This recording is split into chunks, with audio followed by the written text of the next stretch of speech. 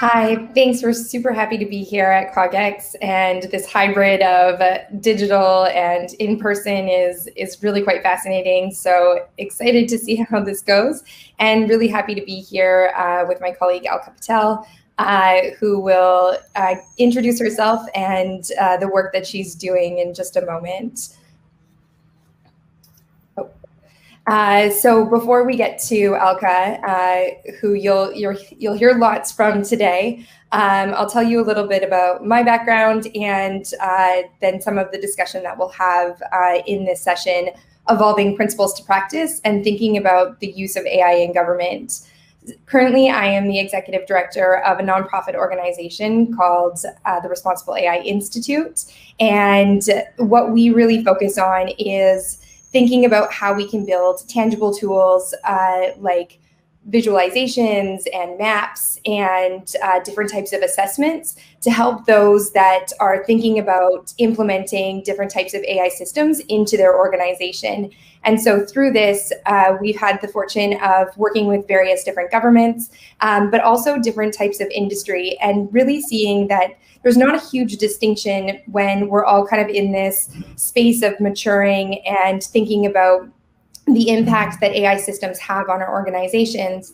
And through this, um, and the work that I did previously with the Government of Canada, uh, where I was working on implementing policies for the Government of Canada's use of AI systems, really got to understand the both positives of uh, looking to enhance service delivery through the use of AI systems, um, and also just provide better insight into any sort of decision making systems that we would, or any sort of decisions that we would need to make. Um, but also, this started to um, pique my interest and that of many others in thinking about what the potential unintended consequences of these systems could be. And so uh, today we're just going to uh, talk about then the implications that, again, we're seeing both in industry, but really in government um, the use of these systems and then how uh, we're working tangibly with people like Alka to address uh, those concerns. Uh, over to you, Alka, to introduce yourself. Great. Thanks, Ashley. Uh, good afternoon, everyone. Really excited to be here with you all, hopefully next time in person, um, but really uh, appreciate the opportunity uh, to have this conversation with you as well, Ashley. Uh, so just by way of quick introduction, uh, as Ashley said, my name is Alka Patel. I am the Chief of Responsible AI at the Joint Artificial Intelligence Center at the U.S. Department of Defense. Um, two quick pieces of information I think that might be helpful as you hear the rest of the conversation this, this afternoon is um, what is the Joint Artificial Intelligence Center at the DoD? And I think that might be helpful um, as well as just understanding a little bit about my background so you, so you um, have an understanding of the context at which I'm coming to this conversation with. And so, uh, starting with my background, uh, I am an engineer, I am a lawyer, I've worked in um, industry, academia, but really uh, a mix of uh, skills from sort of taking a systems engineering approach to thinking through risk govern or risk management, thinking through what governance and compliance looks like. And I think a number of those skills are really critical for meeting the challenges that Ashley's uh, alluding to and, and we'll be talking about in this conversation. Um, I have the deep privilege of working at the Joint Artificial Intelligence Center at the DoD, and uh, I started this role last year. And um, what the Joint Artificial Intelligence Center, or it's called the JAIC. Uh, what the JAIC does is really uh, work as a center of excellence within the department to help enable the transformation of the department um, uh, with AI. And so, how do we think about uh, adopting, integrating, and scaling AI at an enterprise wide level? And how do we do it in a responsible manner uh, as we think about these technologies as we're developing them and or procuring them? And so, uh, we've had a very um, deep history in in, terms of the department and its history and work with respect to ethics and law and policy. And we are building on that as we think about these types of technologies and how do we ensure that we are moving forward in an ethical manner. And so um, I will, I'm happy to share our journey as we go through this conversation. So back to you, Ashley. Perfect. Thank you, Alka. Mm -hmm. So just to set the tone for um, really the discussion and the need for we're talking about uh, ethics and really applying this this lens um, to uh, to these different types of AI systems. And one might think that uh, government is there as a service provider, and so there's a lot of different types of logistical things that need to be thought about. And Alka, I'm sure that you can enlighten us as you go through that with um, some of that. I know that when we think of uh, government, we we don't often see all of the back end stuff that's done. Like uh, in Canada, in the Canadian context, uh, a lot of what we were testing um, the use of AI for was the improvement of benefits delivery. Um, but also, we act as a regulator, and so it's really important to also think about the implications that other types of systems might have, and the the rules and guardrails that we start to put around the use of those. And so you can see here um, through some of these examples that um, there's starting to be with the increased use of AI systems, a lot of challenges that can come when they're not implemented in a way that is really thinking about, again, the unintended consequences of those. And so we're seeing where there's disproportionate amounts of um, of potential harm that could be distributed to certain uh, types of community, and whether that's through things like um, their ability to apply for loans um, or people of different genders having uh, different types of advertising even sent to them. Um, these become really big, significant challenges.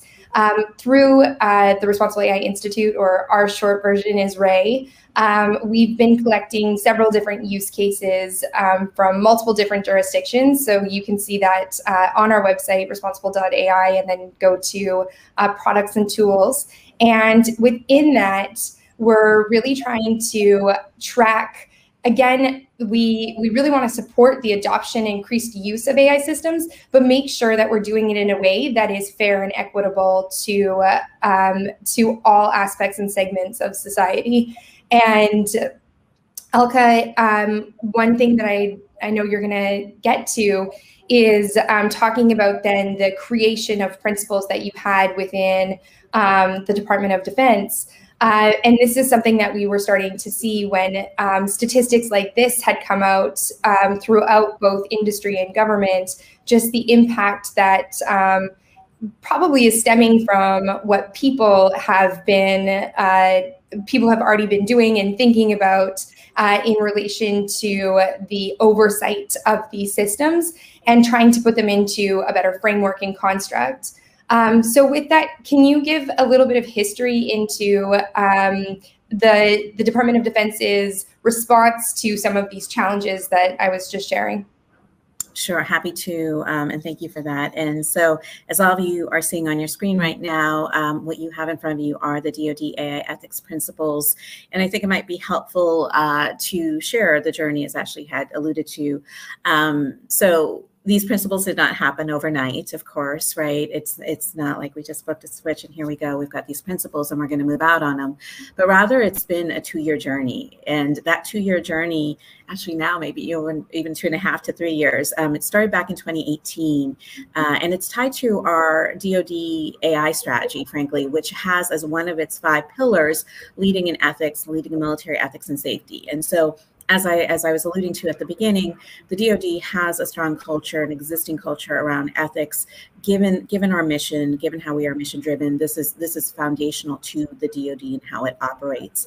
And so it was uh, leadership at that time who recognized that all right, with emerging technologies such as AI, there is a lot of potential, but then we also need to be thinking about all right, how those unintended consequences that Ashley you were alluding to, and so they um, asked the Defense Innovation Board, and the Defense Innovation Board is a federal advisory committee, and um, they are, are sort of separate uh, but connected, and they are tasked with thinking about how do we catalyze and how do we innovate at the Department of Defense. And so the DIB, or the Defense Innovation Board, was tasked with um, thinking through what should ethics AI ethics principles look like for the department. And they undertook a 15-month study, and uh, 12 months of those were really meant to be inclusive, were inclusive, transparent, and robust in the sense that they did uh, public listening sessions, they did consultative sessions with uh, AI subject matter experts, they did practical exercises with uh, department leaders. They had over um, 10 or 15 meetings with uh, a working group meeting. So bringing stakeholders together in a continuous process to, uh, to engage. And not only uh, were they just defense related, right? These subject matter experts were from all sectors. So academia, industry, civil society. Um, they weren't just ethicists or technologists, but they also were uh, lawyers, human rights experts, uh, business leaders, and so forth. And so again, when I when I um, talk about our principles, I have to give due credit to the Defense Innovation Board, who was instrumental in, in really creating a robust and transparent process to get, get to what uh, they finally produced a um, 80 page report in the fall of 2019, which was their recommendations of DoD AI ethics principles. And so the department then took those recommendations and um, reviewed them and considered them and uh, went through an internal process. And then last year, in February 2020, uh, the Secretary of Defense had adopted these AI ethics principles. And while I'm not going to read all of them, I do want to just take a moment because I do think um, they speak to much of what you were trying, what you were suggesting, Ashley, in terms of like, how do we get to some of this? And then really excited to talk about like, all right, how do we take these principles and put them into practice? So um, just for a quick moment, um, so the first principle is responsible. So requiring that DoD personnel will exercise appropriate levels of judgment and care. And yes, what does that mean? And that is that is part of of our journey in terms of trying to define that. But I think the critical point that I want to hit home here is that it's DoD personnel, right? So this is everyone's responsibility. This is not just the developers and the coders. Everyone has a responsibility. Um, so from from the planning and budget folks to the acquisition folks to the HR folks to everyone. Um, equitable. Uh, this is obviously one that is near and dear to all of our hearts and, and is one that is talked about um, as, as, we see examples and stories in, in, in newspapers and so forth. Um, but the fact that we will take deliberate steps to minimize unintended bias. Traceable, I think traceable is um, really twofold here. One is ensuring that uh, the relevant personnel who are working with these technologies have the appropriate understanding of the technology, right? So again, not perhaps just being very, um, not not picking up a technology and and uh, not understanding the context of how it may operate, how it might be utilized, but really making sure that they have a holistic understanding um, of the technology, the development processes. So what does a workflow look like? Where are potential um, assessment points? What are the operational methods perhaps around testing and evaluation and so forth? And then how are we um, thinking through uh, procedures and methodologies uh, that are transparent and auditable as it relates to the data sources as well as the design procedure right? So when we talk about bias not only in terms of the data but like how are we thinking about bias potentially in our, our design practices? And most of all how are we documenting this for for traceability and line of sight across the entire workflow uh, with respect to reliable, thinking through safety and security and effectiveness of this capability, right? Going back to um, the integrity of uh, the technical integrity of these capabilities um, for their defined use cases across the entire life cycle. And then governable, how do we um, design, how do we design these technologies um, at the for, at, at the very beginning to sort of have a fail safe so that number one, if they are um, uh, acting in a way that they were not intended to act or performing in a way that um, is not consistent with the expectation, there is an ability to turn it off or, or have a fail safe to, to go to plan B. And basically, what is the detection method to uh, identify emergent behavior? So um, I just wanted to kind of give that context of, of what the principles cover. I will say many of these are really grounded in, in good engineering practices, so to speak. But when we talk about responsible AI at the department, we know that that's not enough. So talking about the technology is not enough. And so how do we think through the operating um, structures, the incentive structures, as well as the organizational culture? Which brings us to the slide, which um, I'm, I'm, you know, as we move in our journey, uh, this slide uh, highlights a memorandum that was issued by uh, the department and signed by the Deputy Secretary of Defense, Dr. Hicks, on May 26. And this memo actually moves us along in this journey in the sense that not only does it reiterate our commitment, the department's commitment to these principles, uh, but it also lays out uh, implementation tenets. So responsible AI implementation tenets. There's six of them that you see here on the slide. And so it's a next step of how do we get from the high level principles to sort of the next piece of what are the critical um, uh, juncture points of where we build our implementation strategy and plan around. And the memo also goes a step further by actually uh, establishing a working council, which includes representatives from across the, de the department, um, as well as uh, specific actions in terms of producing a strategy and implementation plan, um, thinking through talent management, and then thinking through uh, acquisition as well. And so um, I feel like that that demonstrates again, uh, not only does it demonstrate, but it is a form of accountability in the sense of you've got designated individuals with um, assigned uh, uh, um, requirements to to be met at a certain timeline and and helps us again sort of move along this journey um, i'll just say real briefly too in the last year at the JAIC, we've had an opportunity to use the JAIC as a test bed as we think through our processes, how we think through tools. So, Ashley, to your point about uh, what the Responsible AI Institute does, the tools and the frameworks are really critical.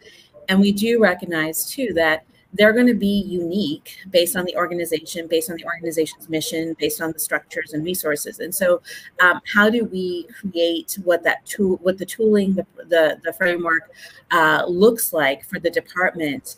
Um, and we're really excited that over the um, uh, last year or so, um, our acquisition uh, area, which is led by our chief of acquisition, uh, Mr. Will Roberts, has been doing amazing work.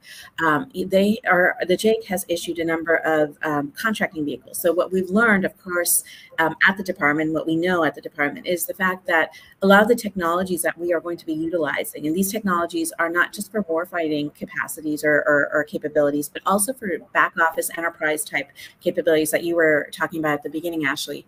Um, and so what we recognize is that most of these technologies are going to be procured, right? And and at the very beginning, when it comes to these technologies, we don't know all the requirements, and so the DoD actually has to reframe how it does acquisition and think about um, acquisition in an agile perspective. And so um, our chief of acquisition uh, has been working on uh, creating these, uh, we call them OTAs, but these contracting vehicles that allow us to leverage and reach out to a number of industry partners, not just a tradi- traditional defense industrial base, which is what folks typically think of. While they are important and critical, we also want to reach out to the startups who are innovating and, and doing some creative work in this space.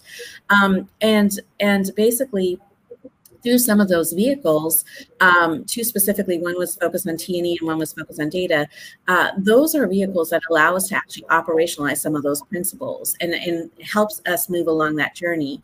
Uh, but the one that I think that's going to be most uh, instrumental and effective is what you see on the screen here uh, with a reference to Project Tradewind, which is where we are going to be um, prototyping a number of our, our uh, responsible acquisition processes, tools, and practices. Um, and I'm happy to go on further, but Ashley, I know I've been talking for a while, so I definitely want to, um, I'll turn it over to you and maybe we can just kind of go back and forth yeah. conversation around Tradewind. Yeah, I think that makes a lot of sense, Alka, and thank you. And um, we're really excited to be participating in this project. Uh, one of the things that um, I mentioned earlier that the work that I had done in the government of Canada was to build out policy for the use of AI systems.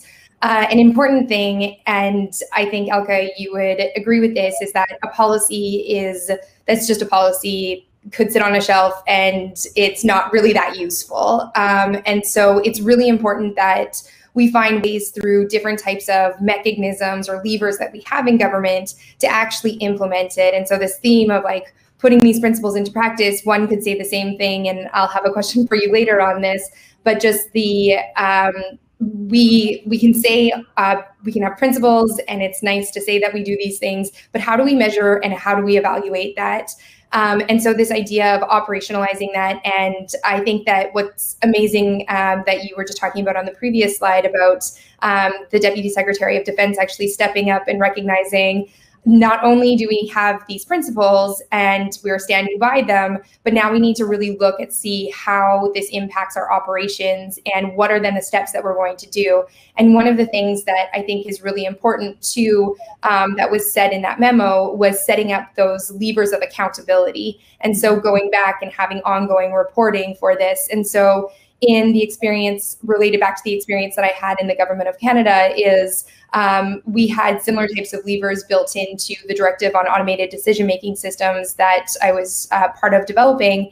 And in addition to that, um, we were really looking at the procurement process. And so we set up um, initially a request for information that we were looking at just what is the AI community and vendor landscape. And some of the questions when we had um, a, an initial discussion with a lot of the, the industry and community was asking things like, what do you see the impact of these systems having on society? And that really helped us to shape our understanding of then what does um, responsible, grounded in human rights mean to us? And one of the things that um, then evolved when we went into creating a supply list for pre-qualified AI vendors was then actually assessing them against not just their competency and not just their capacity to deliver a project, which is really important, but also their ability to do that in a responsible manner. And one of the things that we were really looking for when we did this evaluation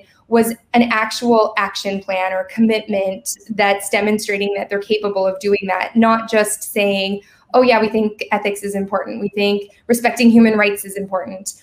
Really trying to get to assess what do you mean by this. And so with this experience and then with the work that we're doing um, through Ray, we're really excited to kind of continue that journey um, through Tradewind. And Alka, you spoke about um, T&E being um, uh, testing and evaluation and some of the other types of prototypes that Tradewind's done. I think, um, again, in the same, a similar sort of spirit to what the government of Canada did. And I, and I see lots of governments trying to really come to um, figure out how they need to make some changes in their processes throughout, um, whether that's um, developing policy in the open or whether that's really shifting how we do procurement.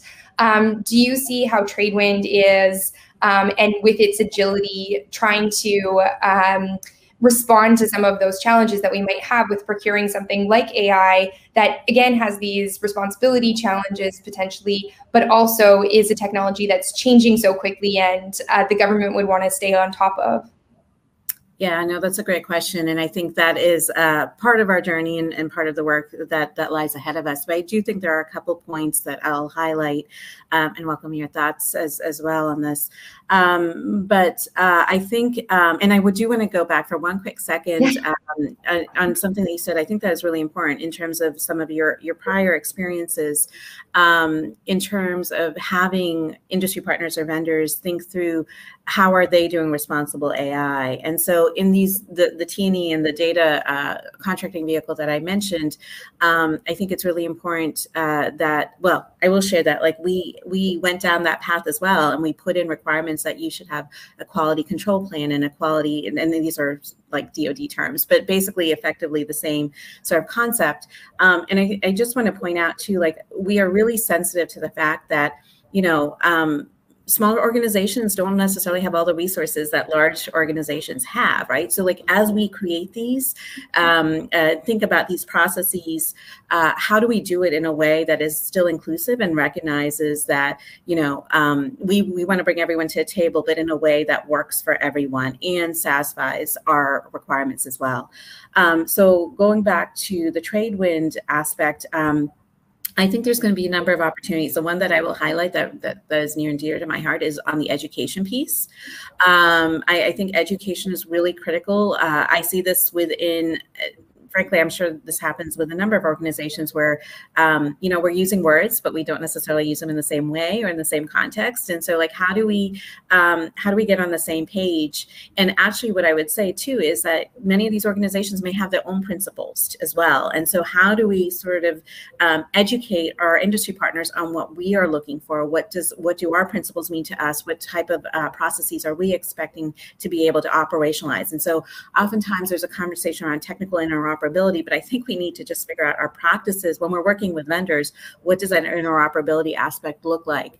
Um, but the education piece, I think, is going to be critical, and I think there's going to be uh, different. Um, sort of uh, stages of education that can be incorporated within the Tradewind. So as people enter into into uh, Tradewind, there's potentially an initial stage, and then and then you build off of that. Um, I think there's also an opportunity here to do some. Um, uh, maturity assessment aspect. So one thing I will share with you is that uh, even within the DoD, right, we have a number of different services, and and I would uh, uh say that's akin to business lines within an organ an industry organization, right? There are different levels of maturity within the DoD, and and how do we get everyone on the same page? And so similarly, when we're working with our vendors, you know, I kind of say that whatever we need to be doing vertically within our organization, we need to be doing horizontally across with our industry partners. And so, how do we think about that maturity assessment? Um, what kind of tools do we need to be able to track that, to identify potential gaps so that we can then mitigate the risks? Um, and or potentially uh, are there ways to create opportunities for teaming within um, different types of organizations that that can help each other to get to the the expected or intended outcome um, at the end. But Ashley, I know you you're yeah no I think it's a good well. Yeah, and I think one thing just before we move on because I, I, do want to talk about the uh, that assessment piece, but I um, one thing that's interesting about Tradewind that I think we didn't highlight is that it is um, a member driven uh, like the OTA that I know sometimes especially in government we tend to use these acronyms. Um, but it's an other task authorization, which again doesn't even explain too much. But the idea is that it's this prototype space to be able to bring multiple different um, types of organizations together um, and individuals, if I understand correctly, as well, Alka, to try and um, help uh, advance a lot of these different initiatives. And through that, there'll be um, several different uh, vehicles and, and contracts and RFIs, et cetera, that will come out through that. Yeah, and a great point. Probably should have spent a little bit more time. no, no, no. my, my apologies for that, uh, for any confusion. And on the OTAs, for any of you who may be familiar with U.S. Uh, mm-hmm. government contracting, um, it will be a breath of fresh air compared to our FARs and our regulatory requirements. So our OTA basically allows us to um, come up with other ways to to do acquisition without having to go through um, a very rigid process, uh, which doesn't work for for AI type uh, capabilities. But in any event, so Tradewind is uh, intended to be this consortia where we bring together, as you said, Ashley, we bring together uh, a number of industry partners um, and um, uh, create this community community, frankly, internally. Mm-hmm and that community can then um, be accessed by our internal DoD partners, so uh, the, the, various services, the JAIC, um, and so forth. And so they have a place to go to to to connect with uh, commercial um, entities that are leading innovation in, in, in the space and can help them assist uh, meeting their their needs as well. So um, I think this consortia, as it um, builds and grows, uh, we'll have other capabilities as well. And so the matching concept that I had mentioned is perhaps, you know, are there opportunities to engage and connect even two uh, industry partners together to get to a final end result? Yeah or is there an opportunity to have um, sort of subject matter expert consultation groups uh, or, or, mini ad advisory groups, so to speak? And um, is there an opportunity here to like build a, a, community of subject matter experts, especially when we're talking about responsible AI? One of the yeah. things that I hear across the department, frankly, um, and, and I don't think this is unique to the DoD, right? I think this is something that all organizations are, are working uh, towards, which is how do we ensure that we have the skills capacity uh, to really be able to do responsible AI, and how do we mm-hmm. sort of thread that needle? And so perhaps um, through TradeWind, by bringing all of these communities together, industry, academia, and defense, like there could be opportunities um, for for leveraging some of that engagement.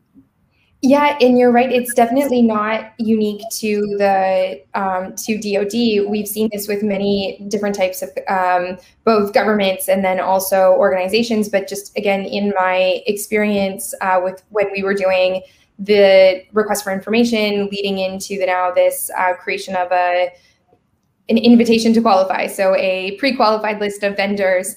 Uh, just that idea of how do you get subject matter experts to work together um, is quite interesting. And it's not typical for companies to um, that might not know each other to bid on a contract together. And so to be the facilitator of that, and one of the things I can't believe neither of us have mentioned yet is when we're talking about AI, because typically this is my initial go-to, is it's so many different things, and I don't want to get into a discussion about the definition of it, but that was actually where I was going to go with the question on the principles. Is that it's nice to say all of these things, but in practice, when you are talking about technologies, many technologies that go across many different types of systems, and whether that be uh, and programs, so whether that be operational or whether that be um, uh, services that you need to deliver that body of knowledge and expertise like there's not just one organization that knows right. how to do all ai no, I such an excellent point. Um, and, and it's it's funny because that resonates quite a bit. As I just we were we were making that point internally um, uh, yesterday uh, in a meeting in terms of there isn't just one body, and and it goes back to like it's not just one responsibility, but then how do you organize within an enterprise to be able to to ensure that you've covered all of those different areas, right?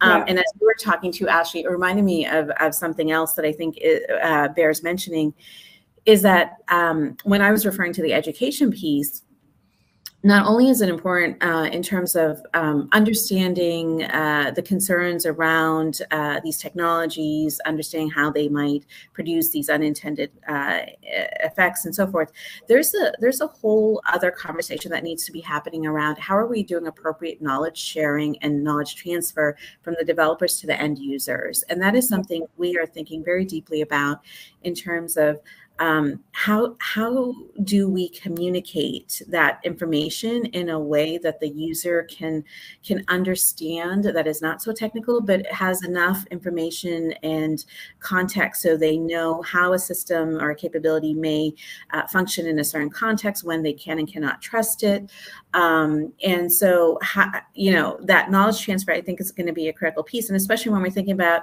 um, high risk situations when there isn't enough time to be able to digest and think through okay does should i should i not right? Um, do, do, i utilize this capability or not? And so i think that's an important piece and then ultimately um, just circling back and i'm i'm not sure if we um, went down this path too is is um, how do our warfighters how do our, our individuals within the dod trust these capabilities? And trust is i know uh, is has many many levels and different um, definitions and many different um, understandings. But but ultimately um, we could have the best technology in the world. And if our end user doesn't trust that capability to actually use it then you know what good was that? And so I think um, kind of going back to sort of all of these points that we've been making, and, and I think this is perfect for you to to um, pick up from here uh, with this slide here. But is how do we connect the threads across all yeah. of these?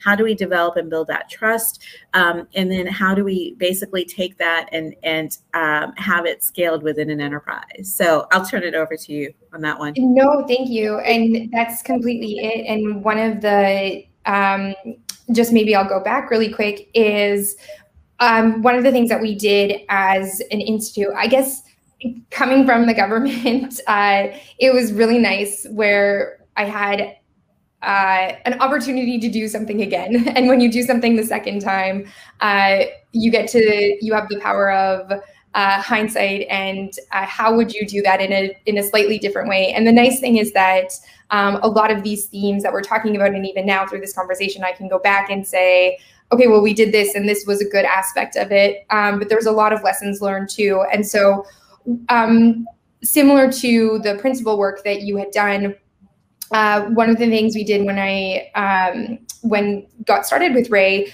was did a mapping of your principles of uh, the IEEE's ethically aligned design, uh, the Asilomar principles, but also um, principles that companies like Google, Microsoft, etc., were, were publishing, um, and really wanted to understand the common threads with all of those. So just in terms of um, some of the discussions we've been having, our framework um, for really thinking about that question that you had, Alka, which is like, how do you move to the next thing? How do you take those principles and how do you build some sort of evaluation against that? And whether that be for procurement or whether that be for um, some type of policy compliance. Um, that's what we're really, really thinking about. Um, ultimately, what we want to do as an organization is create a certification mark, but we know that in order to get there, we need to really think in practical terms with people like Alka and other community members to really understand okay, when we say we want good data quality or robustness, um, even what you were talking about in terms of what does trust mean? Trust could be do I trust that my system is going to work and it's accurate? But accuracy might not be like it might be a trade off we need to make between, okay, it could harm someone, um, similar to the conversation I was having earlier.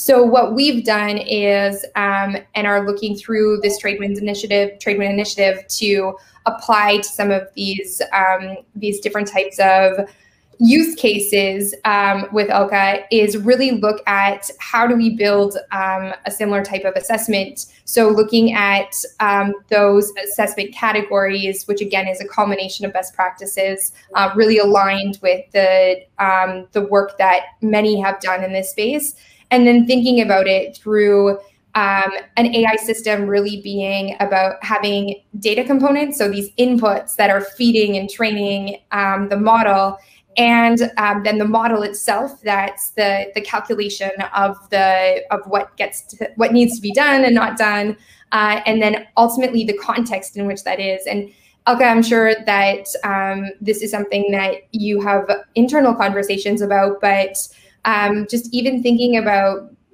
again like basic AI like RPA and um, using it for supply chain, I'm sure mm-hmm. that's different based on um, all of the different bases that you have across the country, let alone the world.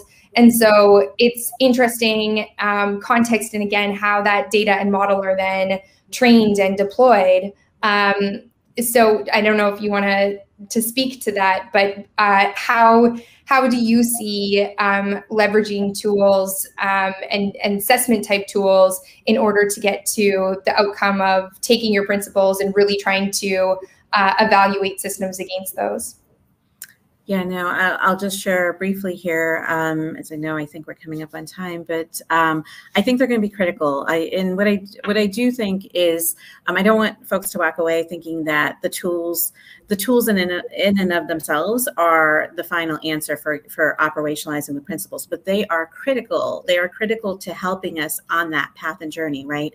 Um, and I think as we uh, think about documentation, as we think about, frankly, using the tools as ways to prompt the right conversation, mm-hmm. using the tools to um, engage different individuals around the table is really where we get the value of the tools. And of course the the the, the output is is important as well for for a number of other um, uh, reasons. But i think the tools um, you know have the function of of um, ensuring or at least helping uh, the prompts for the for those conversations are necessary across the entire life cycle. So mm-hmm. i don't know that um, there's one tool and you're going to use just that one tool and it's going to cover all your bases. But I think a tool that covers the different components, as, as you've stated here with the data and the model and the context, and one that is reevaluated and reassessed and, and reviewed continually is, is going to be critical. And, and I think practitioners in this area are going to need something like this to help them. Um, and I think too, it's going to, you know, when when people who are not in the space are trying to understand what the space looks like, you know, I get the question, what exactly is responsible AI? And so having a tool to kind of frame that conversation is obviously important as well. But but I'll leave it at that for now.